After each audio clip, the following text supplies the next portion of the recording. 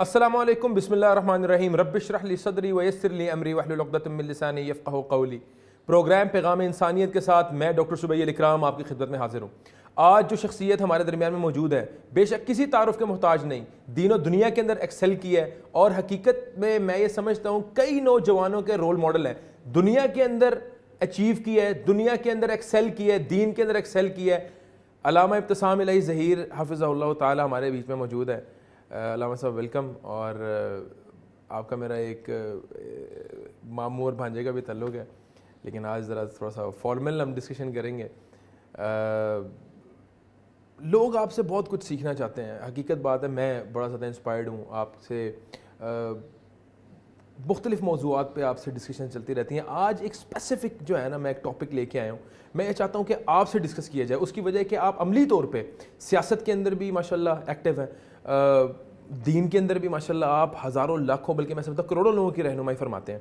मुझे ये बताएँ सियासत और इस्लाम का क्या ताल्लुक है? और आ, क्या जो हमारे माशरे के अंदर सियासत चल रही है क्योंकि एक परसेप्शन डिवेलप्ड है कि मौलवियों का सियासत से कोई ताल्लुक नहीं। इस्लाम का ताल्लुक सियासत से नहीं है। सियासत अलग चीज़ है इस्लाम अलग चीज़ है। इन दोनों को आपस में ना मिलाएँ और इन दोनों को सेपरेट रहने दें। और काफ़ी ज़्यादा एतराज़ात भी होते हैं उन लोगों पे, जो लोग दीनी काम कर रहे होते हैं या जो लोग मेंबर रसूल पे बैठ रहे होते हैं। जब वो सियासत के मैदान में आते हैं, काफ़ी ज़्यादा एतराज़ात उठाते हैं लोग कि भाई, आपका ये काम नहीं है, आपकी फ़ील्ड नहीं है। तो मुझे ये बताएँ, क्या सियासत का कोई कॉन्सेप्ट है इस्लाम के अंदर? क्या इस्लाम इजाज़त देता है सियासत करने की? और अगर देता है तो किस किस्म की सियासत की इजाज़त देता है? क्या डायनमिक्स हैं? देखें बुनियादी तौर बात यह कि हमारे लिए जो सोर्स ऑफ़ इंस्पायरेशन या सोर्स ऑफ़ गाइडेंस है, हमारे लिए किताबुल्ला और सुनत रसूल वसल्लम है। इस्लामी तालीमत के अतबार से जो बात कुरान मजीद से वादे हो जाए या हदीस तय्यबा से वादे हो जाए, वो बात जो होती है वो हमारे लिए एक रहनुमा की हसीियत रख लेती है। वो एक कंक्रीट रियलिटी होती है जिसको हम किसी भी तौर पर डिनाई नहीं कर सकते।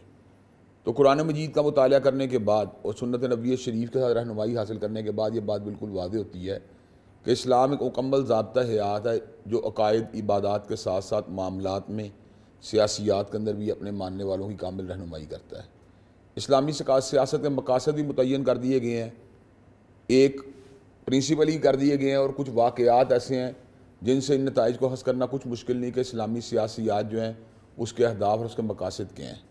कुरान जीत में अल्लाह तबारक वाली ने कई ऐसे हुक्मरानों का भी ज़िक्र किया है, जो अल्लाह तबारक वाली बरगदीदा थे, मुकर्रब थे, अल्लाह करीबी थे और ज़मीन के ऊपर अल्लाह तबारक वाली के अहकाम की बड़े ही आसान अंदाज से तनफीज़ करते रहे। हज़रत तालूत का ज़िक्र भी कुरान मजीद में इस एतवार से मौजूद है कि हज़रत शमाइस्लाम के पास बनी इसराइल के लोग आए। और उन्होंने कहा, हम एक बादशाह की ज़रूरत है जिसकी क़्यादत के अंदर हम उन लश्करों का मुकाबला कर सकें जो लश्कर जो है दिफा इस्लाम या इस्लाम की प्रोपोगेशन या दीन की प्रोपोगेशन के रास्ते में रुकावट बने हुए हैं। तो हज़रत शमाइस्लाम ने यह बात कही इन अल्लाह का बासलकुम तालूत माले का अल्लाह ने तुम्हारे तालूत को बादशाह के तौर पर अपॉइंट कर दिया है। तो बनी इसराइल के लोग इस बात से बड़ा हैरान हुए, उनके दिन में यह ख्याल आया कि तालूद जो है, माली एतबार से इतने मुस्तकम नहीं है। तो उन्होंने अपनी इस रेजर्वेशन का इदारा हज़रत शमाइल के सामने किया और ये बात कही, अन्ना यकून लहुलमल्क अलैना वनहन वहकुबिल मुल्क मिनहू वलम यू तसातम मिनल माल। कि उसके पास तो माल की फरावानी नहीं है। तो हज़रत शमाइल ने जवाब दिया इन हस्तफ़ा अलैकुम वज़ादहू बस्तन फ़िल्म वल जिसम। कि अल्लाह तबारक कहा उसको माल में फरावानी तो नहीं दी, लेकिन ताकत भी दी और इल्म भी दी है। तो इल्म और ताकत अगर मौजूद है तो उसके नतीजे के अंदर वो जो है, इल्म की रोशनी चीज़ों को इंक्लूड कर सकता है, ताकत के साथ इन्फोर्स कर सकता है। तो ये काम जो उसके अंदर करने की अल्लाह ने सलाहियत, वदीयत की हुई है। फिर अल्लाह तबारक वाली इस बात का ज़िक्र करता है कि हज़रत तालूत अपने लश्करियों के साथ निकले और आपने अल्लाह के हुक्म से जो है ना जालूद के लश्कर को शिकस्त दी। तो आपके लश्कर ही के अंदर से हज़रत दाऊद एक, उस वक्त से एक सिपाही की हैसियत से मौजूद थे। बाद अल्लाह तबारक वाली ने हज़रत तालूद के बाद उनको जो है बादशाह अदा कर दी। हज़रत दाऊद और हज़रत सलेमान की बादशाह जो है वो इस एतबार से एक मिसाली बादशाह की एक दस्तावीज़ बन जाती है। कब बैक वक्त अल्लाह तबारक वाली के नबी भी थे, उसके रसूल भी थे और अल्लाह तबारक उनको इकतदार से भी नवादा था। उन्होंने अपने इकतदार के ज़रिए इंसानियती बेनिफिट के तमाम काम किए, अल्लाह तबारक वाली की हाकमियत को इन्फोर्स किया। हज़रत सलमान को अल्लाह ने इतनी बड़ी हुकूमत दी थी कि आपको जन्नात हशरातुलर्स और जितने उस दौर के चरिंद परिंद थे, वो भी आपके दरबार में, उनका एक नुमाइंदा मौजूद होता था। इतनी वसी सल्तनत के बावजूद जब खुद खुद ने आपको आके इस बात के बारे में बाखबर किया या आपको इस बात की इन्फॉर्मेशन दी कि मैं एक ऐसी बस्ती के पास से आई हूँ, जिस बस्ती के लोग जो हैं, सूरज की पूजा कर रहे हैं, हालाँकि उनको अल्लाह के सामने सजदा करना चाहिए। तो फ़ौर से पहले हज़रत सलमान जो थे, इस बात पर एक्शन लेते हैं। आप एक मुरासला भेजते हैं मलका सबा के नाम। मलका सबा उस मुरासले को पढ़ती है। तो उस मुरासले की वर्डिंग से इस बात का अंदाज़ा लगा लेती है कि ये इंतहाई ताकतवर बादशाह की तरफ़ से आने वाला लेटर है। हज़रत सलेमान जो है मलका सबा के तहत को जो है लाने के बारे में दरबारियों से मशवरा करते हैं। उधर से वो हज़रत सलमान के हवाले से मशवरा कर रही होती है। तो हज़रत सलमान जब मशवरा करते हैं तो आपके दरबार में मौजूद एक जिन जो है वो कहता है कि मैं दरबार बर्खास्त होने से कबल मलका सबा के तहत को यहाँ पर ला दूँगा। लेकिन वहीं पर एक ऐसा शख्स जिसका किताब का इल्म था, वो ये बात कहता है कि आपके पहलू बदलने से कबल या पलक झपकने से कबल जो है, उस तहत को यहाँ पर हाजिर कर दिया जाएगा। मलका सबा का तहत वहाँ पर होता है। हज़रत सलमान उसको दावत तोहीद देने के लिए उसको अल्टर करते हैं उसके तहत को। ऑल्ट्रेशन के दौरान जो है, जब दोबारा अल्टर करने के बाद उसको सामने रखा जाता है तो मलका सबा अपने तहत को जो है पहचान जाती कहती है तो मेरा ही तहत है। अब हज़रत सलमान ने असल में उसकी विजम को एड्रेस करना चाहते हैं और ये बात वादे करना चाहते हैं कि वो डिसप्शन का शिकार है। तो हज़रत सलमान के महल के अंदर एक ऐसा हिस्सा था, जिसके अंदर शीशे के फर्श जितना उनके जड़ाव था, शीशे के जड़ाव थे। बड़ा ही खूबसूरत फर्श बनाया गया था, जो देखने वाली आँख को जो है यूँ महसूस होता जैसे पानी खड़ा हो। तो आप उसको महल के उस हिस्से के बुलाते हैं। तो वो क्या होता है, वो जब हिस्से को देखती है, फलम्मा रातू हासीबत हूँ लुजतन व कशफ़तन साकई हा तो वो उसको वो पानी गुमान करते अपनी पंडली से जो है ना, अपने कपड़े को उठाती है। तो हज़रत सलमान जवाब में उस मौके पर ये बात करते हैं इन्ना सरहम ममर्रदमिन कवारीर कि जिस फ़र्श को तुम जो है पानी का ख्याल कर रही हो यह दर हकीकत शीशे का फ़र्श है। गोया कि आप उसको मैसेज देते हैं कि जिस तरह तुम शीशे के फ़र्श और पानी में तमीज़ नहीं कर सके, इस तरह तुम अल्लाह तबारक व ताली के नूर और सूरज की रोशनी में तफरीक करने से कासर रही हो। अब मलका की विजम पे गौर करें, मलका उस मौके पे क्या अल्फाज कहती है, कोई मुकालमा नहीं हुआ, सिर्फ़ एक उसको एक जो है ना, एक रास्ता दिखाया तो मलका अल्फाज बोलती है रब्बी इन्नी ज़लम तो नफसी वसलम तुम आसमान रबीआलमीन मैंने अपनी जान पर जुल्म किया है और मैं हज़रत सलमान के साथ जो उनके हाथ के ऊपर इस्लाम को कबूल करती हूँ। गोया के हज़रत की सल्तनत ने किस कदर दावत दीन को जो ना एक उन्होंने किस अंदाज से हाईलाइट किया। फिर हज़रत यूसुफ की जब आप हुकूमत पर गौर करते हैं तो उस हुकूमत में ये बात बड़ी वादे तौर पर नज़र आती है कि आप गले की तदवीन इस अंदाज में करते हैं कि खुशहाली के सात सालों के अंदर न सिर्फ़ ये कि आने वाले सात सालों का अल्लाह स्टोर कर लेते हैं, बल्कि उससे मुल्क मिस्र के अलावा पूरे के पूरे इलाके के जो लोग हैं, गिरदो नवा के लोग, बल्कि आलमगीर सतह पर लोग जो हैं, अपनी गदाई ज़रूरियात को पूरा करने के लिए आपसे रजू करते हैं। हज़रत यूसुफ़ अलैहिस्सलाम ने गले की तदवीन और सारे इस माली तंजीम को ये बात जो है, जिस अंदाज में आपने चलाई, अल्लाह के रसूल होने के साथ, ये बात वादे करती है हुक्मरानों की जिम्मेदारियों में पब्लिक के प्रॉपर्टीज़ और पब्लिक एसेट को हफात करने का जो इस्लाम में किस अंदाज से इंश्योर किया गया फिर पब्लिक के अंदर जो लोग फसाद को पैदा करते हैं, उनको कला कुमा करने के लिए अल्लाह ने डायरेक्शन दिखाई है, वो हज़रत जलकर नैन का वाक़ है कि अल्लाह ने उनको बादशाह अता की उन्होंने मुख्तलिफ़ सफ़र किए। तो एक सफ़र उन्होंने एक ऐसी बस्ती की तरफ़ किया, जिस बस्ती के लोग याजूज और माजूज से बड़े तंग थे। तो हज़रत से जलकर नैन ने उनके लिए जो ना, एक जो दो पहाड़ों के दामन से बाहर आते थे और वो बस्ती वालों को फसाद करके लूट मार करके वहाँ से निकल जाते थे। तो हज़रत जलकर नैन ने काम किया कि आपने दो पहाड़ों के दरमियान लोहे की चादरें खड़ी करके, उनके दरमियान तांबा पे गला के जो उनके डाल दिया, उनको फिल कर दिया तो वो अब याजूज माजूज उस पहाड़ के पिछले रह, तरफ़ रह गए और बस्ती के लोग उनके शर से महफूज हो गए। गोया के शर से महफूज करने वाला काम भी जो है ना, वो हुक्मरानों के दिन में है।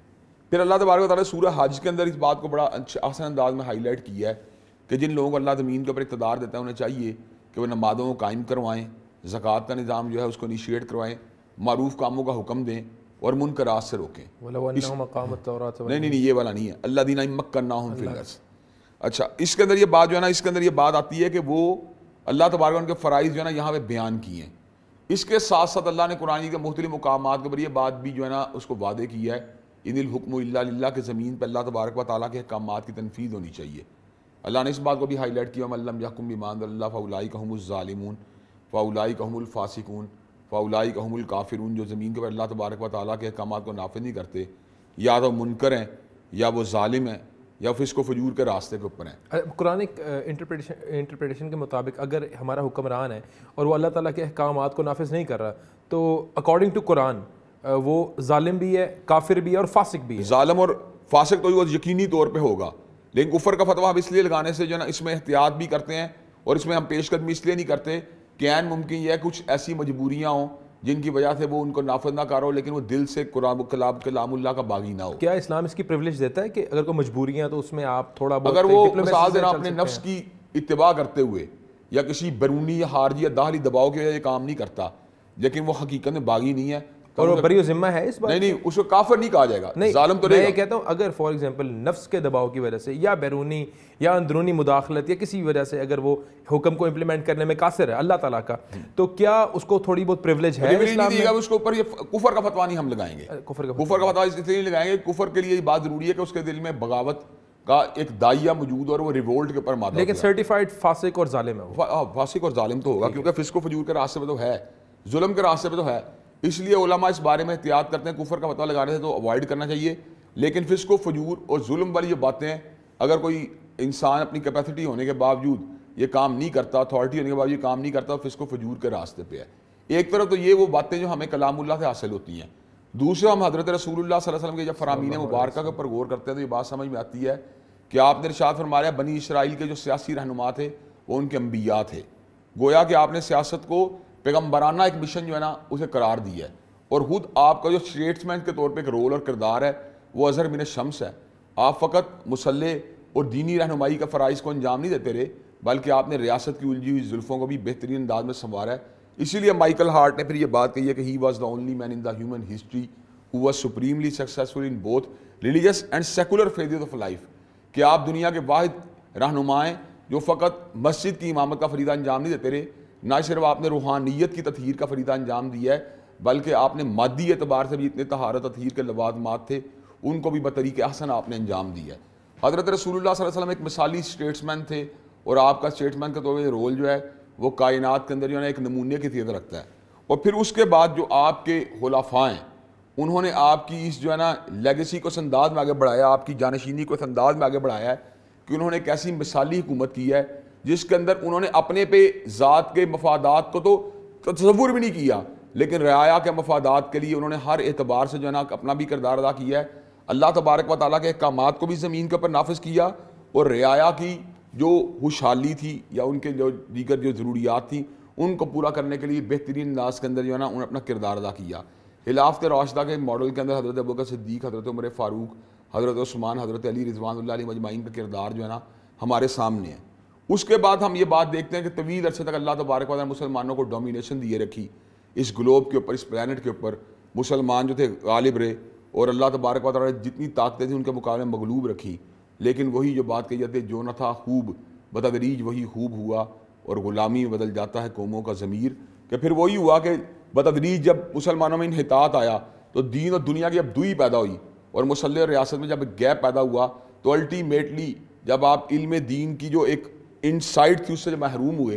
तो अल्टीमेटली फिर हाई शाह का गलबा हुआ शहवात का गलबा हुआ और आपकी डिज़ायर्स का गलबा हुआ और सियासत जो थी ना, उस मौके पर एक पावर लस की शक्ल तैयार कर गई। एक इकतदार को गेन करने का जो रास्ता जो है ना, वो बना दिया गया। एक झूठ का जो है ना, एक जो है ना, उसकी डायनामिक्स को सियासत का नाम दे दिया गया। हालाँकि सियासत का बुनियादी मकसद ये था कि अल्लाह की ज़मीन के ऊपर अल्लाह तबारक व ताली के अहकाम की तनफीस की जाए और उन अहकाम की तनफीस के ज़रिए रियाया के जुमला मसाइल को हल किया जाए। तो हम ये बात समझते हैं, इस्लाम का जो मॉडल है, सियासियात के अतबार से बड़ा ही परफेक्ट मॉडल है। इसके अंदर यहाँ पर अल्लाह तबारक व ताली के डिवाइन लॉस की इम्प्लीमेंटेशन का कंप्लीट कंसेप्ट मौजूद है। वहीं पर रियाया की फलाह बहबूद का भी कंप्लीट कंसेप्ट मौजूद है। इसलिए कि इस्लामी अरकान के अंदर तीसरा रुकन ज़क़़त का रुकन है। शहादतैन और नमाज़ के बाद ज़क़़त के रुकन को एक इंतहाई इंपॉर्टेंस दी गई है। तो ज़क़़त जो है ये ऑब्लीगेटरी चैरिटी है जो हर मुसलमान के ऊपर अल्लाह तबारक वाली लाजिम की है। तो उस ऑब्लीगेटरी चैरिटी को अगर हम मुआरे के अंदर सही तौर पर इम्प्लीमेंट करें, जैसा कि अहद रिसालत मुआब वसल्लम में होता रहा, अहद सिद्दीकी में होता रहा, अहद फ़ारूकी में होता रहा, अहद जिनरैन और अहद अलवी में होता रहा, अगर हम उस अंदाज का ज़क़़त का निज़ाम कलेक्ट करें और उसके अंदर उसी प्रिंसिपल को फॉलो करें, जिस प्रिंसिपल के तहत ज़क़़त को उसको कलेक्ट किया जाता था कि इसको उस इलाके में जिससे कलेक्ट किया जाए, उसी इलाके के डेवलपमेंट के ऊपर, उसी इलाके के फ़कीरों की और गुरबा की बहाली पर लगा दिया जाए तो मैं ये समझता हूँ कि मुआरे से जो है ना बिल्कुल गुर्बत का हाथमा हो सकता है। अगर लाहौर से कलेक्ट होने वाली जक़ात जो है लाहौर के गिरदोनवा में रहने वाले गुराबार मसाकिन पर लगा दी जाए गुजरावाला से कलेक्ट होने जक़ात गुजरावाला के अंदर जो है ना गुराबार मसाकिन के ऊपर लगा दी जाए। जो भी मॉडल बना लिया जाए छोटा यूनिट या बड़ा यूनिट उस यूनिट से कलेक्ट होने जक़ात अगर उस यूनिट के ऊपर इंप्लीमेंट की जाए उसके ऊपर लगाई जाए तो मैं ये बात समझता हूँ मुआरे के अंदर ना खुद बहुत बदहाली और जो मुआरे की दबू हाली और जो उनका मुआशी नहतात है उसका बेहतरीन तरीके से मुसलमान एज ए होल बिलखसूस पाकिस्तान, तनजुली का जो शिकार है, आपकी जो गुफ्तु से मैंने परसीव की है, वो ये की है कि जो सियासतदान है, या जो लोग इन पावर थे, वो डिरेल हो गए अपने मकसद से। जो दीन ने उनको अहकाम दिए थे, उसे डिरेल हो गए। उनका सिर्फ़ और सिर्फ़ मकसद पावर गेन करना रह गया था। क्या यही वजह है कि हमारा पूरा मुआशरा जो है, इस वक्त तनजुली का शिकार है, और हम बदतरीन मुआशी और मुआशरती बदहाली का शिकार है? देखें मैं आपको छोटी बात हूँ इस्लाम के अंदर जो ना, हकूक व फ़राइज़ को बहुत अहमियत दी गई है। कोई छोटा छोटा यूनिट भी हकूक फ़राइज़ के बैलेंस के बगैर जो है तरक्की नहीं कर सकता। मिसाल दे रहा हूँ, एक घर है, जिसका मियाँ जो है अपने हकूक तो माँगता है, लेकिन अपनी जिम्मेदारियाँ फ़राइज अदा करने पर तैयार नहीं तो आप सोच लें, उस घर का क्या हाल होगा? उसके अंदर हर वक्त जो है ना नफसा नफसी होगी, कशीदगी होगी, लड़ाई झगड़े होंगे। इस तरह बीवी जो है ना, वो अपने हकूक तो मांगती है, नान नफके की तलबगार तो है, अपने लिए बेहतरीन लिबास का तकादा तो करती है, बेहतरीन रहाइश का तकादा तो करती है, लेकिन जो उसके फ़राइज़ बनते हैं हामन की तरफ़ जो उसकी ऑब्लिगेशन है उसको अदा करने के लिए तैयार नहीं। तो अल्टीमेटली नतीजा क्या निकलता है कि मुआरे के अंदर फिर उसके लिए घर कई टूट भी जाते हैं, तलाक़ों तक नौबत आ जाती है। इसी तरह हम देखते हैं हमारे मुआरे जो हमसायों के हकूक है, उनकी अदायगी के अंदर भी तथाहुल बढ़ता जाता है। वालदेन के हकूक की अदायगी के अंदर भी कमी कोताही की जाती है। तो यही मामला जो है ना, फ़राइज़ और हकूक का रियाया और हुक्मरानों के दरमियान भी है। कोई हुक्मरानी का ये बात नहीं कि मैं हाकिम बन गया हूँ तो मेरे पास एक कुर्सी आ गई है तो ये कुर्सी मेरे प्रोटोकॉल के लिए इस्तेमाल होनी चाहिए। ये अल्लाह तबारक वाली की तरफ़ से आपको एक इमानत सौंपी गई है। उस इमानत के अंदर जो आपके राइट्स आपको दिए गए हैं कि लोग आपकी इतात करें लोग डिसिप्लिन में रहें लोग आपके साथ कोऑपरेट करें ये उस वक्त आप सही मानों में उसको सीख कर सकते हैं जो आपकी ज़िम्मेदारी आप उनको अदा करें। पर्सनल बेनिफिट के लिए कुर्सी का इस्तेमाल करना या पावर का इस्तेमाल करना या अपने अहदे का इस्तेमाल करना इस्लाम के अंदर उसका कोई तस्वर कोई तस्वुर मौजूद नहीं और अगर कोई बंदा करता है? मैं ये बात समझता हूँ एक बंदा जो इंतहाई गुर्बत की ज़िंदगी गुजार रहा है और उसकी बुनियादी नेसेसिटीज़ भी ये आपके रियासती फ़राइज़ की अंजाम दही की वजह से सेक्रीफाइस हो रही हैं। तो वो इसलिए इतनी तनहा बैतुलमाल से लेने का मजाद है या सरकारी खजाने से लेने का मजाद है जिससे उसकी बुनियादी फंडामेंटल जरूरियात पूरी हो नेसेसिटीज पूरी हो नेसेसिटीज पूरी हो सके। लेकिन उसके अंदर वो अयाशी करने हम तो का, देखते हैं ना कि हमारे हुक्मरान बड़ी ज़्यादा लग्जरीज की हाँ, तरफ़ लग्जरीज की मतलब तरफ़ बड़े बड़े और उसके अंदर कई दफ़ा फिर लग्जरीज के वो सीख नहीं करते बल्कि अपने इख्तियार को इस्तेमाल करते कई मतलब करप्शन को बकाया तौर के ऊपर जो मुआरे के अंदर जो ना उसको फ़रोग देते हैं। और सरकारी मामला और पब्लिक प्रॉपर्टीज़ को इस तरीके समझते हैं, जिस तरह उनकी दाती प्रॉपर्टीज़ हैं। हाकिम जो है, उसको इस चीज़ का कोई हक नहीं दिया इस्लाम ने कि वो लोगों के माल अमवाल का तसरुफ़ करे, उनकी जायदादों में तसरुफ़ करे, पब्लिक प्रॉपर्टी में तसरुफ़ करे, सरकारी हदाने में तसरुफ़ करे। सैदना सदीक फ़ारूक की ज़िंदगी हमारे सामने है। सैदना दिन सैदना अली मुर्तदा की ज़िंदगी हमारे सामने है।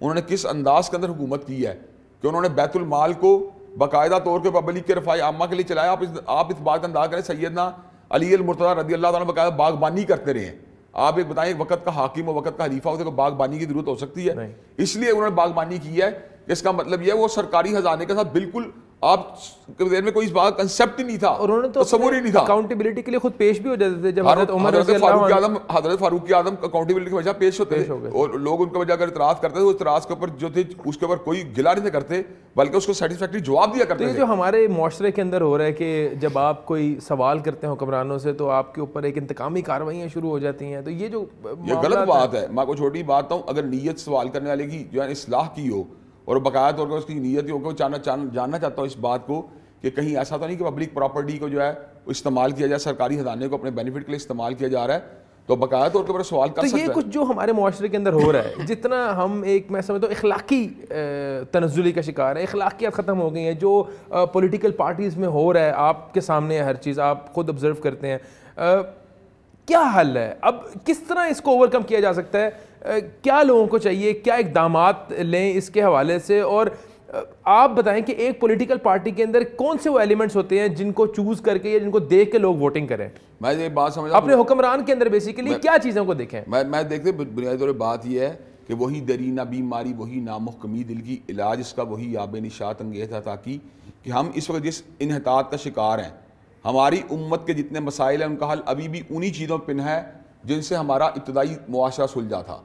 अब आप ये देखें हम जिस आज अहलाक अहलाकी का शिकार हैं उससे कहीं ज़्यादा अहलाकी निहतात के शिकार मुआरे को हज़रत रसूल अपनी तालीमत के ज़रिए मिसाली मुआरे कन्वर्ट कर दिया। उस मुआरे बेटे लोग जो थे अपनी बेटियों को ज़िंदा दरगोर कर दिया करते थे। उस मुआरे में लोग जो शराब के जामों के अंदर जो थे हर वक्त जो है शराब के नशे में दुत रहा करते थे। उस मुआरे के लोग मामूली मामूली तनाज़ात के ऊपर एक गर्दनें काटने में मादा तैयार हो जाते थे। वो क्या चीज़ थी जिसने गर्दनें काटने वालों को जो था एक दूसरे का मुहाफिज बना दिया। वो क्या चीज़ थी जिन्होंने बेटियों को ज़िंदा गौर करने वालों को, गैरों की बेटियों का मुहाफिज बना दिया? वो क्या चीज़ थी जिन्होंने नशे में दुत रहने वालों को अल्लाह तबारक व ताली की ज़िक्र असकार का आदि बना दिया तहजद गुदार शब जिंदादार बना दिया? इसका मतलब यह है कि मुआशरे के अंदर रेफरमेशन की और मुआशरे के अंदर असलाह की है ना बाकायदा तौर पर गुंजाइश मौजूद है। अगर हम हकीकी मानों में अपने हुक्मरानों को चूज़ करते हैं इस बात को देखें कि करेक्टर किसका आला है?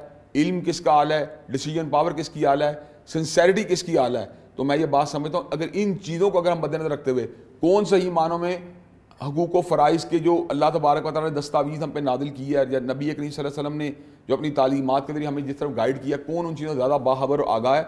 तो मैं ये बात समझता हूँ इल्म को देखते हुए और उसके करेक्टर को देखते हुए और उसकी सिंसैरिटी को देखते हुए और उसकी कुत अमल को देखते हुए अगर इन चीज़ों का बुनियादी फैसले किए जाएँ रामा साहब यहीं से गुफ्तु कंटिन्यू करेंगे। नाजरीन वक्त हुआ एक ब्रेक का हाजिर होते हैं ब्रेक के बाद। वेलकम बैक अलामा साहब आपने ब्रेक पे जाने से पहले गुफ्तु की कि लीडर के अंदर आपको देखना चाहिए करेक्टर किसका स्ट्रॉन्ग है सिंसियरिटी किसकी है इल्म किसका ज़्यादा है। हाँ। या देख सकते हैं आप अल्लाह के कितना करीब है। लेकिन हर सियासतदान हर पॉलिटिकल लीडर ये क्लेम करता है कि मैं मेरा करेक्टर सबसे आला है। आ, मेरी लॉयल्टीज़ सिंसियरिटीज़ जो है वो पाकिस्तान के साथ हैं। मतलब और एक मैं ये समझता हूँ कि ब्लेम गेम चल रही है। हर सियासतदान कहता है कि अगला गलत है मैं ठीक हूँ। और जो मुझ पर इल्ज़ाम लगा है वो सियासी बुनियादों पर लगा है। तो क्या पैरामीटर्स हैं जजमेंट के? आपके और मेरे पास क्या ऐसे मैं, मैं कोई बात समझता हूँ असल बात है हमें अपनी आउटलुक को दुरुस्त करने की ज़रूरत है। मैं आपको एक छोटी मिसाल देता हूँ अगर आप पिंक शीशों वाली एनक लगा देंगे तो आपको पूरा इन्वायरमेंट पिंक नज़र आएगा। आप ग्रीन शीशों वाली एनक लगाएँगे पूरा इन्वायरमेंट आपको ग्रीन नज़र आना शुरू हो जाएगा। आप नीले शीशों वाली एनक लगा लें तो आपको पूरा इन्वायरमेंट नीला नज़र आना शुरू हो जाएगा। असल बात देखने की ज़रूरत यह है कि आप स्टैंडर्ड किस चीज़ को बनाते हैं। अगर तो आप स्टैंडर्ड बनाते हैं अपने महबूब लीडर के फ़िलासफ़ी को तो उस उस चीज़, उसके तनाजुर चीज़ों को देखेंगे तो अल्टीमेटली आपको अपने लीडर में फॉल्ट नज़र नहीं आएँगी, बल्कि उसके अपोनेंट्स में फॉल्ट नज़र आएँगे। अगर आप कोई यार्ड स्टिक बनाते हैं किसी दूसरे लीडर को तो फिर आपको उसको जो अपोज करता है, उसकी उसके अंदर फॉल्ट नज़र आएँगे और उसके हम नवाओं में आपको कोई हामी नज़र नहीं आएगी। हमें यार्ड स्टिक जो है ना, हमें जो पैरामीटर है या बुनियाद बनाने की ज़रूरत है, वो किताब और सुन्नत को बुनियाद बनाने की ज़रूरत है। कि हमारी जो है ना विजन उसका बुनियादी है ना, हम वहाँ से बुनियाद उठाएँ। हमारे नज़दीक जो किसी करेक्टर की बुनियाद, वो हो, जो करेक्टर किताब सुन्नत ने जिसको एक आइडियल करेक्टर करार दिया है। अगर किताब सुन्नत के अंदर मॉरल करप्शन की मिसाल दे रहा हूँ गुंजाइश मौजूद नहीं है। मोनिटरी करप्शन की इस्लाम में मतलब कोई गुंजाइश मौजूद नहीं है। या मिसाल दे रहा हूँ कि इस्लाम के अंदर जो है ना, वो अल्लाह तबारक व ताली करीब होने के लिए जो पैरामीटर्स बनाए गए हैं कि वो अल्लाह तबारक व ताली अगर लॉयल है तो अल्टीमेटली जो है ना, उसका रवैया, उसका कंडक्ट जो है इन चीज़ों को इंडिकेट करेगा। लेकिन एक खुद साहता जो हमने एक पैराडाइम बनाया हुआ है अगर हम उसकी रोशनी की चीज़ों को जज करने की कोशिश करेंगे तो फिर अल्टीमेटली हम सही चीज़ों को जज नहीं करेंगे। बिलाशुबा हमारे लिए जो रोल मॉडल है, वो हमारे नबी करीम सल्लल्लाहु अलैहि वसल्लम है। और पॉलिटिकल लीडरान ऐसे मौजूद हैं हमारे माशरे के अंदर, जो क्लेम करते हैं कि हम अगर इकतदार में आए तो मदीना की रियासत बना देंगे। और हमसे बेहतर हमारे नबी करीम सल्लल्लाहु अलैहि वसल्लम का मुकदमा किस ने लड़ा? ऐसे लीडरान जो है यहाँ पे मौजूद है, मैं नाम नहीं किसी का लूँगा। मतलब हर सियासी पार्टी के पास एक ना एक, मैं समझता हूँ, एक पैकेज है बेचने के लिए, आवाम को।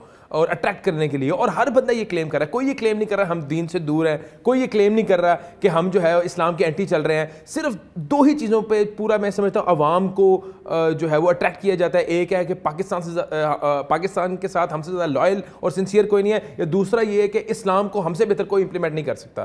तो इस बारे में आपका क्या ख्याल है? मतलब हर बंदा क्लेम कर रहा है। जाहरी तौर पर तो हर बंदा क्लेम कर रहा है। अब वो क्या पैरामीटर्स है जिसमें हम जज कर सकते हैं कि ये ठीक है या नहीं? मैं ये बुनियादी तौर पर समझता हूँ कि एक होता क्लेम एक होता प्रूफ क्लेम जो है ना, उस वक्त तक दुरुस्त नहीं माना था जब तक उसका प्रूफ ना पेश करें।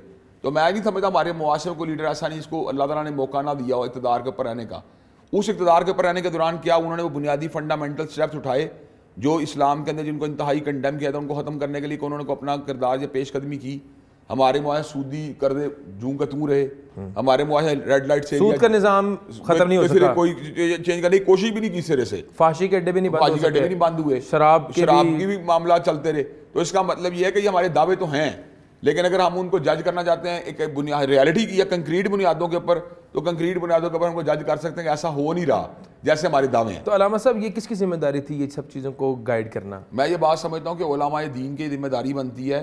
कि वो इस बारे में पब्लिक को गाइड करें और इस अंदर किसी पार्टीबादी का शिकार हुए बगैर गाइड करें।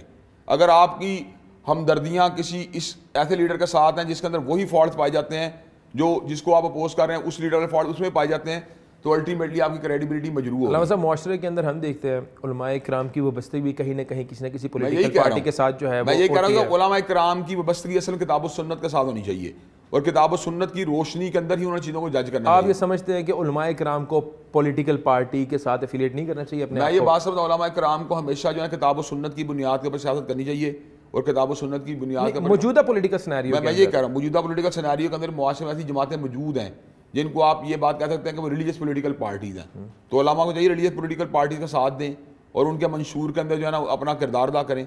और वो सियासी पार्टियाँ जिनके मंशूर के अंदर बकाया तौर पर इस्लाम को उस दर्जे की अहमियत नहीं दी गई है उसको प्रैक्टिकली इंप्लीमेंट करने की कोशिश नहीं की जाती ना रगबत नहीं दिलाई तो उनको उनसे पार्टियों साहब मुसलमान माशरे के अंदर हम रह रहे हैं और यहाँ पे एक मैं ये समझता हूँ कि एक टर्मिनोलॉजी है जो कि बड़ी नहीं है कि मजहबी सियासत या रिलीजियस पोलिटिकल पार्टी जैसे अभी आपने फरमाया। तो मतलब क्या what is the difference between religious political party and political party मतलब दोनों जगह हम जैसे मुसलमान ही हैं। दोनों जगह ऐसे लोग पाए जाते हैं जिनमें चले अच्छाइयाँ भी हैं ऐप भी हैं। दोनों पॉलिटिकल पार्टीज़ में उलमाए कराम की मौजूदगी है। तो रिलीजियस पॉलिटिकल पार्टी क्या जाहरी तौर पे वहाँ पे नहीं, आप जैसे उलमाए कराम जहाँ पे जिनकी जिनकी कसरत ज़्यादा हो वो ये बात नहीं। रिलीजियस पॉलिटिकल पार्टी में कोई उलमाए कराम की कसरत कैसे नहीं बनती? बल्कि रिलीजियस पोलिटिकल पार्टी अपने मैनिफेस्टो की बनती है अपने मंशूर कैसे बनती है? जिसके मंशूर के अंदर इस बात को हाईलाइट किया जाता है कि हम मुआरे को एक मिसाली इस्लामी फलाही रियासत बनाएँगे। और इसके अंदर उन तमाम इकदाम को हम करने की कोशिश करेंगे। जो इकदाम जो हैं, इस्लाम के अंदर जिनको अप्रिशिएट किया गया और उन चीज़ों को रोकने की कोशिश करेंगे, जिनको इस्लाम में कंडेम किया गया है। तो उससे एक रिलीजियस पोलिटिकल पार्टी हमारे सामने मंदिर आम के आती है। अगर ये चीज़ आपके मैनिफेस्टो में नहीं है, और आप प्रैक्टिकली भी इसकी तरफ़ मूव नहीं करते, और आप उसके मुकाबले तरक्याती प्रोडक्ट्स की बात तो करते हैं, और आवाम को जो है, उन फैसिलिटीज़ को जो मॉडर्न एज फैसिलिटीज़ हैं, वो देने की बात तो करते हैं। लेकिन आपके पैराडाइम के अंदर कहीं कोई प्रैक्टिकली या हकीकत के अंदर इंप्लीमेंटेशन ऑफ़ इस्लामिक लॉज नहीं, नहीं है, ना उसमें गोल भी नहीं आपका नज़र आता। ना उस आप आप आप, आप मूव करते भी नज़र नहीं आते। ना ही आपका मैनिफेस्टो इंतबात कहीं मौके पे वो आता है। ये ज़रूर है कि आप रसूल का इजहार करते हैं। आप अल्लाह से मोहब्बत का इजहार तो करते हैं।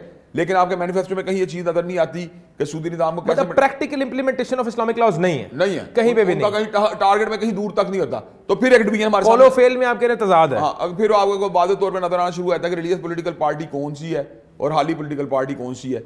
वो हाली political party secular political party होती है रिलीजियस पोलिटिकल पार्टी होती है। सेकुलर का मतलब ये होता है जहाँ पे आप रियासत और जो है ना मज़हब को अलग तस्वूर करते हैं। और उसमें आप कहते हैं ठीक है यार मदब का ताल्लुक रियाती मामला के साथ नहीं है। तो रिलीजियस पोलिटिकल पार्टी वो होती है जिसके नज़दीक मदब और रियासत आपस में इंटीग्रेटेड होते हैं। तो मैं ये बात समझता हूँ, जब पाकिस्तान बना था तो उस, उसका बुनियादी मकसद एक इस्लामी जमहूरी रियासत का क्याम था, वो अवामी जमहूरी रियासत के तौर पर नहीं था बना। तो अगर आप यहाँ पे अवामी जमहूरी रियासत की बात करेंगे, या आप यहाँ पे प्रैक्टिकली उसी तरह पार्लियामेंट की डोमिनेशन की बात करेंगे, जिस तरह वेस्टर्न डेमोक्रेसी के अंदर होता है तो फिर उस सूरत के अंदर फिर आपकी पोलिटिकल पार्टी है ना रिलीजियस पोलिटिकल पार्टी नहीं करार पा सकती, फिर तो एक आम नॉर्मल पोलिटिकल पार्टी रहेगी।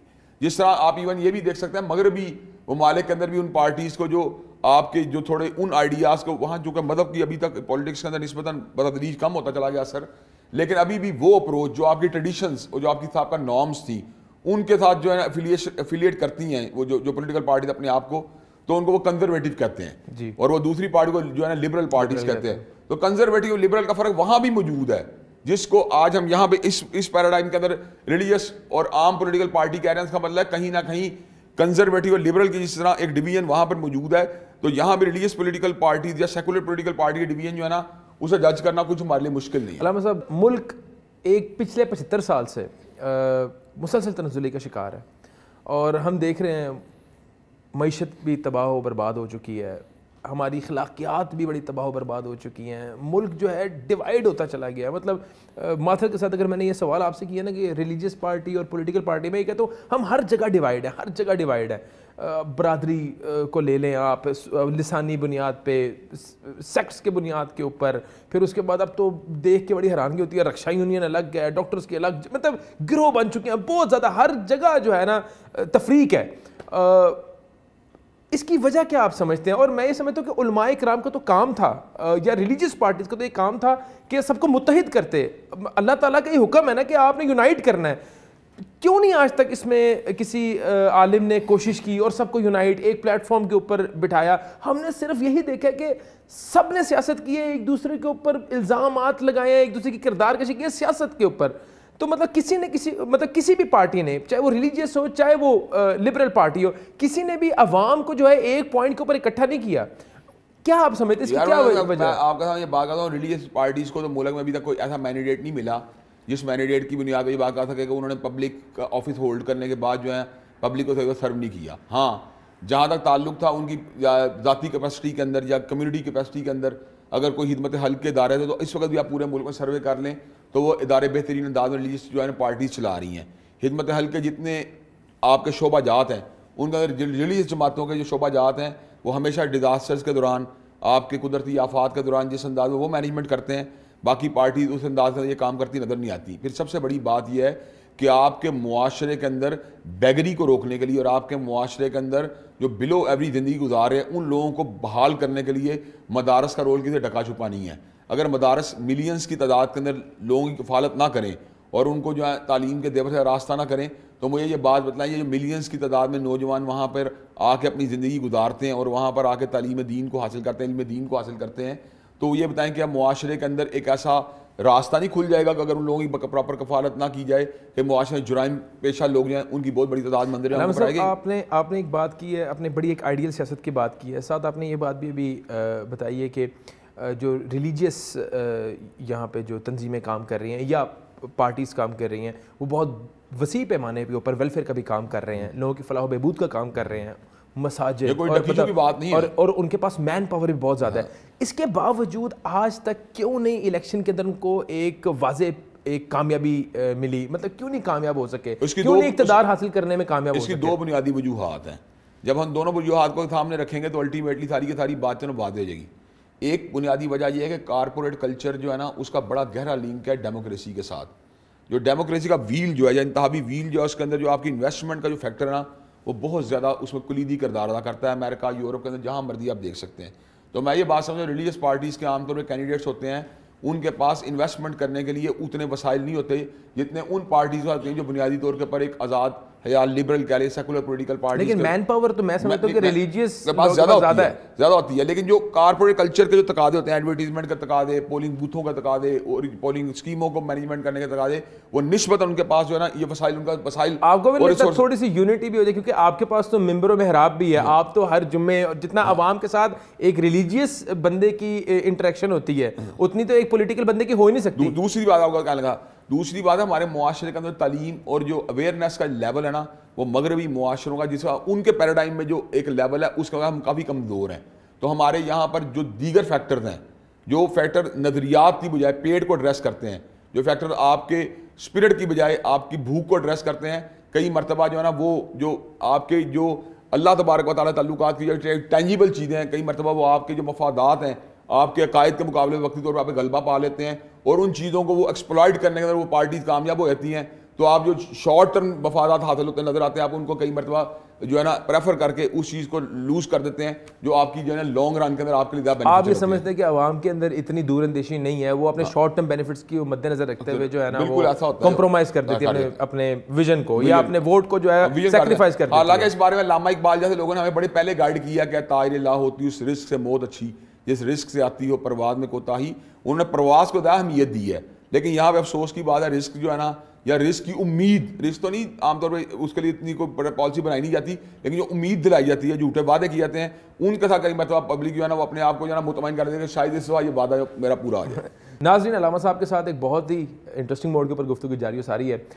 एक मुख्तर से वक्फे के बाद दोबारा हाजिर होते हैं। स्टेट यून वेलकम बैक अलामा साहब, आपने अभी ब्रेक पे जाने से पहले गुफ्तु की कि अपने शॉर्ट टर्म मफादात की वजह से जो है ना, लोग अपने वोट को ज़ाया कर देते हैं, जो whatsoever the reason is और हमने देखा है इलेक्शंस के अंदर जो है वो एक बिरयानी की प्लेटें के ऊपर लोग वोट दे देते हैं, या मुहावरा भी है, या वोट ख़रीदे जाते हैं। क्यों नहीं आपके पास ऐसी कोई स्ट्रेटजी क्या पावर गेन करने के लिए आप लोग मुतहद नहीं हो सकते? क्या रिलीजियस पार्टीज़ मुतहद नहीं हो सकती? और फाइनेंस जहरी बात है, करोड़ों अरबों रुपए का, मैं कहता हूँ, लोगों की डोनेशन वो जाती हैं, मैं कहता हूँ डायरेक्टली दीनी इंस्टीट्यूट्स के पास रिलीजियस इंस्टीट्यूट्स के पास जाती है। और आम आम लोगों से ज़्यादा लोग ट्रस्ट आप पे करते हैं। तो क्यों नहीं इकतदार को हासिल किया जाता? हम बाहर बैठ के तो वो एक, मैं समझता हूँ, ये एक्सक्यूज़ तो हमारे पास बहुत ज़्यादा है। और कहीं ना कहीं ब्लेम भी है, चले हम आवाम को दे दें, लेकिन कहीं ना कहीं आपको लगता है कि यूनिटी लैक कर रही है? यूनिटी के अलावा कुछ और फैक्टर्स भी हैं। मैं समझता था कुछ बैन अवी इन्फ्लुएंसेज भी किरदार अदा करते हैं। अच्छा। वो उसके अंदर इसलिए एतबार से किरदार अदा करते हैं कि वो ये बात को समझते हैं कि शायद कोई अपर राइट किस्म के लोग अगर सामने आते हैं तो हमारी जो पाकिस्तान की हारजा पॉलिसी है शायद उसको जो है ना उस सतह पर चली जाए जिसके नतीजे के अंदर कोई ग्लोबल कुशीदगी के अंदर जो है ना पाकिस्तान अपना रोल प्ले ना करना शुरू हो जाए। तो ये डर और खौफ जो है ना उन जगहों के ऊपर भी प्रेशर एग्जर्ट करता है जो मैं समझता हूँ कि इकतदार को बनाने में या उनको जो है ना उन उस बिल्डिंग ब्लॉक्स को डेवलप करने में अपना किरदार अदा करते हैं। उसी इतनी डेप्थ में या डिटेल में जाने की ज़रूरत नहीं, लेकिन जो इन चीज़ों के अंदर जिन जिन लोगों का जो स्टेक होल्डर होते हैं, या जो इन चीज़ों के अंदर जो है ना, इस बकाया तौर के ऊपर एक जो है, किसी ना किसी लेवल के ऊपर इन्वॉल्व होते हैं, वो भी मैं समझता हूँ बैन अवी इन्फ्लुएंस का किसी ना किसी एतबार शिकार होते हैं। क्योंकि आप इस वक्त ग्लोबल विलेज में रह रहे हैं, और ग्लोबल विलेज के अंदर रहते हुए अगर आप बैन अवी आरा जो हैं, अगर आप उनसे बिल्कुल अटैच होकर ज़िंदगी गुजारना चाहते हैं तो उसके लिए आपको कुछ और चीज़ों को जो है ना आपके पास होना चाहिए। पाकिस्तान चूँकि एक इकनॉमिक लेवल के ऊपर भी डिपेंडेंट मुल्क है तो कई मरतबा उन प्रेशर्स को एक्सर्ट करने में जो ना, जो उसमें किए जाते हैं। मैं ये बात समझता हूँ, उनको फेस करने में कई मरतबा हमारी जैसी रियासतें जो है ना, वो उनको सक्सेसफुली जो है ना कोप नहीं कर पाती। तो ये भी एक वजह बन जाती है दीनी जमातों के जो है ना, बरस इकतदार ना आने की। हाँ यूनिटी का फैक्टर जो है, वो भी एक फैक्टर ज़रूर है, जहाँ पर दीगर फैक्टर होते हैं, वहाँ पर यूनिटी फैक्टर की अपनी जगह अहमियत है। मैं ये समझता हूँ कि मुआरे में ऐसे लोग मौजूद हैं, ऐसे ब्रेन्स मौजूद हैं जो हमेशा दीनी जमातों के इतिहाद के ऊपर जो है ना कंसनट्रेट करते हैं फोकस करते हैं और अल्लाह तबारक व ताली के फजल करम से मादी में भी कई सारे गोल्स जो है ना हमने बाहमी इतिहाद से अचीव किए हैं। मुस्तबिल में भी इन पोलिटिकल गोल्स को भी अचीव करने के लिए हम जो है समझते हैं एक पेज पे आ सकते हैं।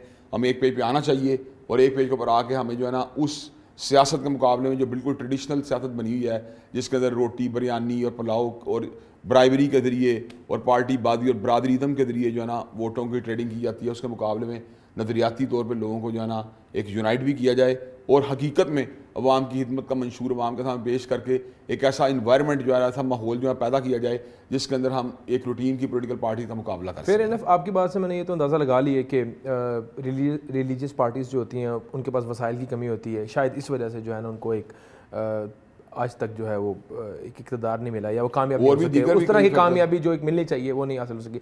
अलामा साहब बड़ा डायरेक्टली सवाल पूछता हूँ। इस वक्त मुल्क के अंदर दो तीन जमातें हैं जो बहुत ज़्यादा इन्फ्लुएंस कर रही हैं अवाम के ऊपर।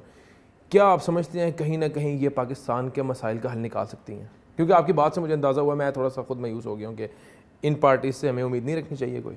मैं ये बात समझता हूँ कि ये पार्टीज़ का जिस कल्चर चल रहा है इसके अंदर इसलिए मुझे इनसे बहुत ज़्यादा उम्मीद नज़र नहीं आती कि इन पार्टीज़ के यहाँ पर कोई ऐसा स्ट्रॉन्ग नज़रिया मौजूद नहीं जिसकी बुनियाद के ऊपर इनको ऑपरेट किया जाता हो। इनके अंदर हम ये बात देखते हैं कि खान साहब जब आए तो उन्होंने बकाया तौर पर ये बात कही कि हम उन लोगों के सामने लेके आएँगे जो मिडिल क्लास से बिलोंग करते हैं और इलेक्टेबल्स के साथ हमारा कोई खास तल्लुक नहीं होगा। लेकिन हमने जब प्रैक्टिकली ये बात देखी तो हमने देखा कि वही लोग जो कल तक मुस्लिम लीग या पीपल्स पार्टी के टिकट होल्डर हुआ करते थे अल्टीमेटली उन्हीं की बड़ी तादाद जो थी ना वही टिकट लेने में कामयाब हुई। तो इसका मतलब यह है कि आप इलेक्टेबल्स वगैरह के चक्कर में पढ़कर और उन्हीं जागीरदारों और सरमादारों को बुलाइज करने के चक्कर में पढ़कर उन लोगों को सामने लाने काफ़ी रहते हैं, जो लोग हकीकत में पार्टीज़ के साथ आपकी उनकी वफा, यानी वफादारियाँ भी होती हैं और वो आवाम को डिलीवर भी करना चाहते हैं, जिसकी वजह से पार्टीज़ के अंदर मुस्बत तब्दीली या उनका मुस्बत कल्चर जो है डेवलप नहीं हो पाता। अगर आपने भी उन्हीं लोगों के ऊपर इंसार करना है, जिन लोगों के ऊपर दूसरी पार्टियाँ इंसार करती हैं तो इसका मतलब ये है, और फिर आप ये बात जो है ना सिर्फ़ जनरल इलेक्शन में देखते, बल्कि ज़मनी इंतवा में देखते हैं कि जिस पार्टी का कोई बंदा देखता है कि मुझे इसमें अपॉर्चुनिटी ज़्यादा मिलती नज़र आती है तो अपनी पार्टी एक मिनट में बदल लेता है। और कोई उसके अंदर कोई ना नजरियाती तब्दीली वाक़ होती है, ना कोई मंशूर की तब्दीली वाक़ होती है। बस वो अपना फ्लैग बदलता है और अपना निशान बदलता है। वही बंदा कभी शेर के निशान में इलेक्शन लड़ा होता है कभी बल्ले के निशान पर इलेक्शन लड़ा होता है। तो ना बल्ले वाला शेर को लेने से अवॉइड करता है ना शेर वाला बल्ले को लेने से अवॉइड करता है। तो इसका मतलब कोई इतना प्रॉपर नज़रिया फ़र्क नहीं है। सबको एक लेवल पे देखते हैं कि सेम लोग हैं हाँ। सारे लोग जो इकतदार के हसूल के लिए सियासत कर रहे हैं अवाम की फलाह बहबूद के लिए वेलफेयर के लिए बहबूद के लिए होते तो अल्टीमेटली उन लोगों को रोकते। अपने अंदर उन्होंने कहा था गेट अपने अंदर गेट से गुजरने का कोई ऐसा रास्ता बनाया होता या कोई उसके आगे जो है ना कोई ऐसा फिनोमिना बनाया होता जिस फिनोमिना को जो है ना पहले बूर करना पड़ता। यार, मैं मुस्लिम लीग में इसलिए शामिल होने लगा हूँ कि मुस्लिम लीग के मैनिफेस्टो में एक ऐसी चेंजिंग थी और मादी के मैं जिस मैनिफेस्टो को मानता था, उसके अंदर ये ये लूप होल्स थे। या ये तरीके से बताया जाते हैं, ये बात कि मैं मुस्लिम लीग से इसलिए आज जुदा हो रहा हूँ कि उसके नज़रिया में ये सुकम थे और तरीके साहब के नज़रिया में, लेकिन ये बात नज़र नहीं आती। सिर्फ़ मोनोग्राम बदलता है। निशान इंतहा भी बदलता है और वही बंदा जो होता है, उसी अंदाज में कंपेन करता हुआ पहले उसको जिंदाबाद करता अब इसको जिंदाबाद करता नज़र आता है। तो मेरा दिन तो अभी भी यही है कि हमारे मसाइल का हल जो है ना, अभी भी किताब सुन्नत में मौजूद है और किताब सुन्नत में गवर्नेंस का जो निज़ाम दिया गया है, अगर हम उस गवर्नेंस का निज़ाम को इम्प्लीमेंट करेंगे तो इन हमारे मसाइल अनफॉर्चुनेटली चेंज जो है वो पावर से आएगा। और अवाम क्या करे? चेंज के लिए क्या करे प्रैक्टिकल क्योंकि जो भी सियासतदान आया जो भी लीडर आया पॉलिटिकल लीडर उसने यही नारा लगाया है कि अब बदलेगा पाकिस्तान। इसको अब जिस तरह मुझे टिल्ड कर लें लेकिन नहीं मफहूम यही है। मैं छोटी बात हूँ बहरहाल किसी तहरीक का जो है उसके मुस्बत या मनफी नज़रियात या उसका ट्रेडिशनल अपनी जगह पर है। लेकिन मैं ये बात देखता हूँ कि चाहे बैन अवी सिनारी को देखें या नेशनल सिनारी को देखें वो इस चीज़ को ज़रूर इंडिकेट करता है कि जो बंदा एफर्ट करता है उसको लाइनें मिलती हैं उसके लिए अपॉर्चुनिटीज़ खुलती हैं उसको रास्ता मिलता है। ये बात आप बैन अवी सतह के ऊपर भी देख सकते हैं, आप नेशनल लेवल के ऊपर देख सकते हैं। किसी का नज़रिया का दुरुस्त या गलत होने से कता नज़र जो बंदा भी अवेयरनेस की कंपेन चलाता है, अवाम को अपने साथ जोड़ने की कोशिश करता है, उन तक पहुँचता है। मैं ये बात समझता हूँ, लाजमन अवाम के अंदर जो है ना, उसके बारे में, उसकी अवाम के दरमियान एक जो है ना, एक बॉन्ड डेवलप होता है इस्टेब्लिश होता है एफिलिएशन डेवलप होती है। और वही एफिलिएशन जो होती है, जब मैसेज के अंदर उसके रिज़ल्ट निकलते हैं, जब मैस मूवमेंट होती है तो अल्टीमेटली फिर वही पार्टी जो होती है, एक मैस पार्टी की शक्ल भी तैयार कर लेती है। अगर ये काम जो ट्रेडिशनल पोलिटिकल पार्टीज़ है, मेहनत के साथ अपने एक टीम वर्क का कर सकती हैं तो मैं ये बात समझ, दीनी जमातों के अंदर भी पूरा पूरा जो है ना ये, इसके इम्कान मौजूद हैं।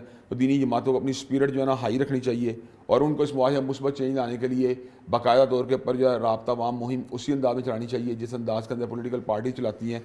और आवाम को अपने साथ, अपने नज़रिया कन्विंस करना चाहिए। मैं ये बात समझता हूँ पोलिटिकल पार्टी तो आमतौर पर आपकी मिलिट्री या आपकी फ़िज़िकल या आपकी मटीरियल ज़रूरियात को पूरा करने की कोशिश करती हैं।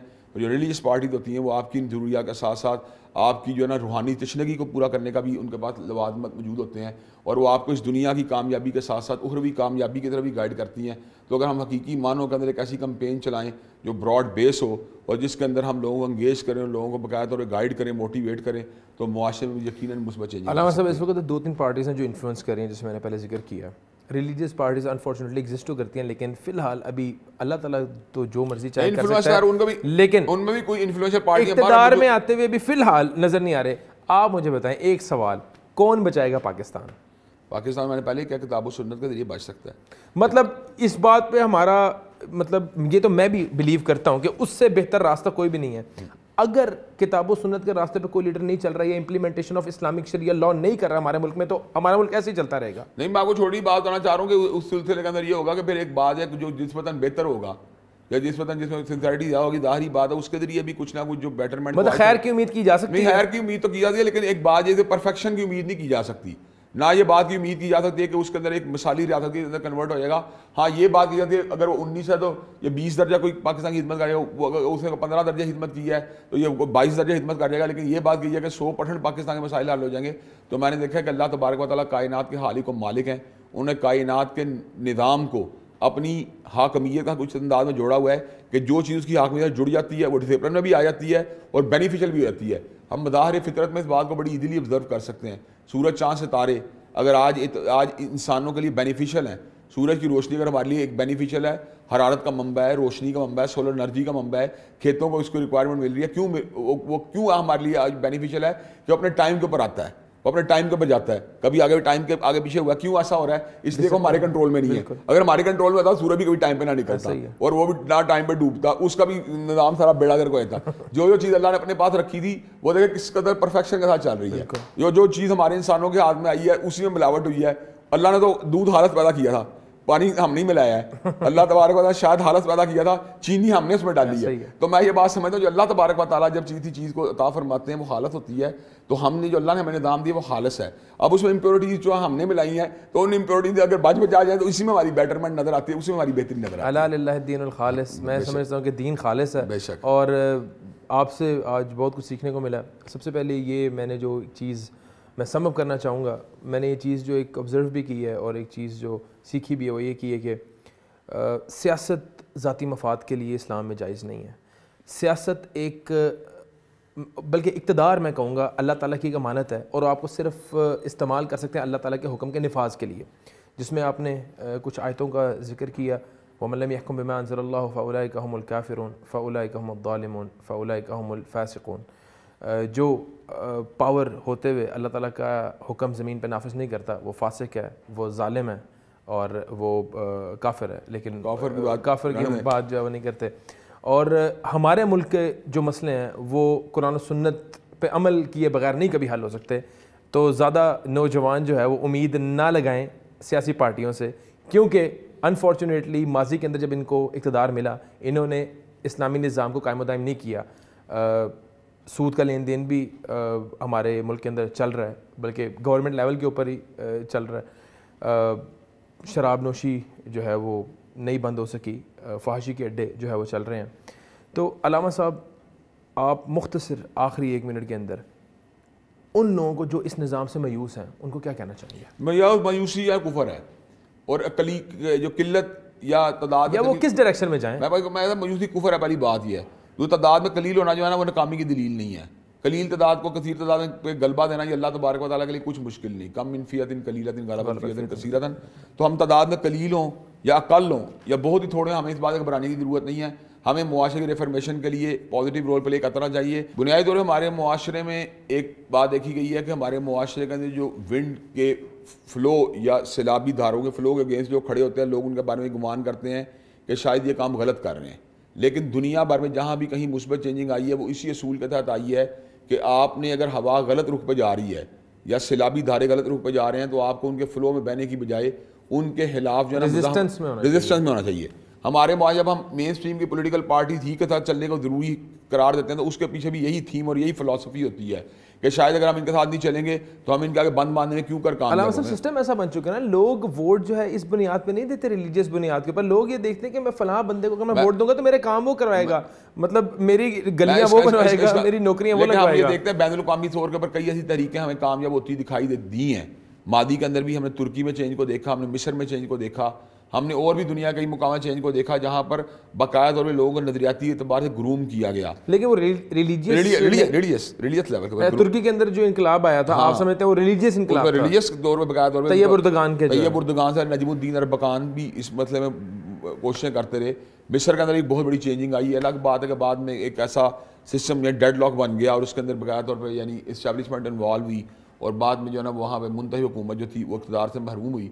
लेकिन इसके साथ मिसालें मौजूद हैं हमारे पास, कि दुनिया के अंदर बकाया तौर के ऊपर लोगों को जब सही तौर के ऊपर जो है उनको एजुकेट किया गया और उनको अवेयरनेस दी गई तो लोग जो थे इस तरफ़ आने का मादा तैयार हुए। मैं ये बात समझता हूँ, अगर हम सीरियसली लोगों की जैन शादी के ऊपर मादा तैयार हों और उनको सही तरह प्रॉपरली गाइड करें, उस सिमत की तरफ़, जो सिमत जो है ना लोगों को जो है ना इस्लामी निज़ाम की तरफ़ गाइड करे तो लोग गाइड हो सकते हैं। लेकिन अगर हम खुद अपने अंदर एक कॉन्फिडेंस ये महसूस ही ना करें और हम खुद भी हवा कर रूप के ऊपर उड़ने वाली एक पतंग बन जाएँ और हम खुद भी जो है ना, ये वो जो सैलाबी धारों में बहने वाली कश्ती बन जाए तो अल्टीमेटली फिर ज़ाहिर बात है पब्लिक भी वहीं जाएगी जहाँ पर आपका जो है ना पानी के धारे या हवा का रुख जा रहा है। तो मैं ये बात समझता हूँ इस रुख के आगे बंद मानने के लिए सबसे बड़ी मिसाल जो खान साहब भी कई मतलब दिए देते होते हैं ये अलग बात वो किसी और पैराडाइम में देते हैं लेकिन मैं उसको किसी और तनाजुर में आपके सामने पेश कर रहा हूँ कि नबी करीम सल्लल्लाहु अलैहि वसल्लम का जो इनकलाब है वो हमारे लिए सबसे बड़ी नमूना दलील की सीत रखता है। कि एक वक्त वो भी था जब बहुत थोड़ी तादाद में साहब कराम अच्छा साथ अभी कोई हफ़्ता पहले एक इंटरव्यू में हफ़्ता बीस दिन पहले खान साहब ने एक इंटरव्यू में ये कहा है कि मेरे लिए भी लीडर जो है वो इंस्पिरेशन जो है वो हज़रत वो जो ये बात करते हैं लेकिन अल्टीमेटली मैं बात देखता हूँ कि वो जो रियासत मदीना जो चीज़ कंक्लूड करते हैं मैं उस चीज़ को कंक्लूड इसलिए नहीं करता कि उनके यहाँ पर रियासत मदीना का सिर्फ़ जो एक सोशल वेलफेयर एस्पेक्ट है वो उसी को मॉडल बना के अपनी सारी की सारी गुफ्तु जो है ना उसको आगे बढ़ाते हैं। जो उसका स्पिरिचुअल प्रैक्टिकल इंप्लीमेंटेशन नहीं है हाँ, दूसरी बात उसमें स्पिरिट को माइनस करते हैं। वो स्पिरिचुअल एस्पेक्ट का कभी ज़िक्र नहीं करते। उनके मदीना का था तस्वुरात के अंदर जो है ना वो जब आप देखते हैं तो उसके मॉडल के तौर पे उस मॉडल को जब इंप्लीमेंट करते हैं तो उसके अंदर आपको लंदन का भी उसमें मॉडल पूरा होता था नज़र आ जाता है कोपन हैगन भी मॉडल पूरा होता था नज़र आ जाता है जिसके अंदर बहुत सी अहलाकी बुराइयाँ और बहुत से मोनिटरी जो है ना अब्यूज भी बकायदा वहाँ मौजूद होते हैं। वेस्ट इंस्पायर्ड हाँ, तो उसके अंदर मैं ये बात समझता हूँ रियासत मदीना के अंदर सोशल वेलफेयर सिस्टम मौजूद था। पब्लिक के मफाइल वहाँ पे हल होते थे। पब्लिक की प्रॉब्लम्स को वहाँ पे जो था चुना जाता था। उनके दख दर को बांटने के लिए बकायदा अपना किरदार अदा किया जाए कि उसके साथ साथ उसका एक बड़ा मज़बूत स्पिरिचुअल फाउंडेशन थी। वहाँ पे बकायदा तौर पर अल्लाह तबारक वाली से रबत की एक बड़ी पुख्तगी थी। वहाँ पर बकायदा तौर पर मुआरे के अंदर जो थी एक हिजाब का एक निकाब का शर्म हया का एक बड़ा मज़बूत कंसेप्ट का हाँ, उसके अंदर यानी कि सारे के सारे वो वो फैक्टर्स भी थे जिनका ताल्लुक आपकी स्पिरिट के साथ है मोनिटरी फैक्टर्स के साथ साथ। मटीरियल फैक्टर के साथ साथ उसका जो जो स्पिरिचुअल एस्पेक्ट है, उसको अगर आप नज़रअंदाज करेंगे तो रियासत मदीना का भी तस्वुर जो है ना, सही तौर पर मंदिर आम के ऊपर नहीं आ सकता। तो मैं ये बात समझता रियासत मदीना के नारे के साथ साथ जो एक सेकुलर लिबरलिज्म का तस्वुर भी आप दोनों को इकट्ठा चलाना चाहते हैं तो जो दोनों चीज़ें इकट्ठी नहीं चल सकती। कहीं ना कहीं आप नहीं समझते कि रिलीजियस पार्टीज़ को भी, जैसे आप भी इलेक्शन एक इलेक्शन कंटेस्ट कर रहे हैं आपको भी कहीं ना कहीं इस तरह की लिबरल पार्टीज़ के साथ कहीं ना कहीं अलायंस करने की ज़रूरत पड़ सकती है या पड़ेगी अगर आप कामयाब होना चाहते हैं और नहीं ऐसी बात नहीं है। मैं ये बात समझता एक बेटर फॉर द बेटर मतलब मैं ये बात समझता हूँ हमारे मुआरे के अंदर जमील इस्लाम या जमात इस्लामी की मिसालें पहले मौजूद हैं। लेकिन उनको उनको वो वाली कामयाबी नहीं मिली अगर आप नहीं वो चाहे वो इस्लाम की बात करें उन्होंने भी कोलेशन गवर्नमेंट बनाई नहीं नहीं आगे बताऊँ लेकिन एक बात है अल्टीमेटली अपने निशान पे लड़ते हैं। ठीक है उनके कैंडिडेट की भी इतनी तादाद जो नहीं जीतने में कामयाब नहीं होगा पूरे मुल्क हुकूमत लें लेकिन मैं बताऊँ कि मसाले तो मौजूद हैं। अगर कुछ लोग दूसरी जमातें एक कैंडिडेट्स की तादाद पार्लियामेंट में सूबाई असम्बली में कौमी असम्बली में पहुँचा सकते हैं अपने निशान के ऊपर अपने स्लोगन के ऊपर। तो मैं ये समझता हूँ कि अभी मुस्बत काम करने के साहब लेकिन वो जिनकी आपने मिसालें दी हैं वो भी सम हाउ पैक कर रहे हैं ना एक पार्टी पॉलिटिकल पार्टी वो पैक करते हैं जीतने के बाद। हम्म। जीतने के बाद पैक करते हैं लेकिन जो उनकी बुनियादी इस इंतहाबी स्कीम है उसके अंदर तो उन्होंने अपनी दीगर जमातों से जो है ना अलाइंसेज नहीं किए हुए। उनकी कमियाँ कोताहियाँ या उनके अंदर आपका जो उनके बाद रिजर्वेशन है वो अपनी जगह पे हो सकती है। या कोई को हो सकता है कुछ पॉइंट्स को मैं तस्लीम करूँ, कुछ पॉइंट को आप तस्लीम करें, कुछ को मैं ना तस्लीम करूँ, कुछ को आप ना तस्लीम करें।